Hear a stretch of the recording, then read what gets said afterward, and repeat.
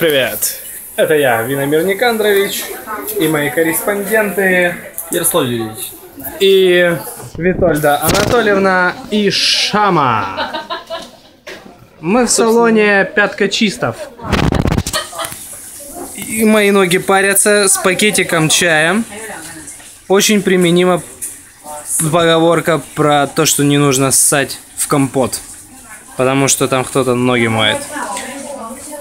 В общем, нас сегодня будут мять, наминать, массажировать, пятки чистить. Я не знаю, пока что я в предвкушении всего.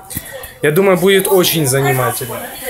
Я жду и ждите вы.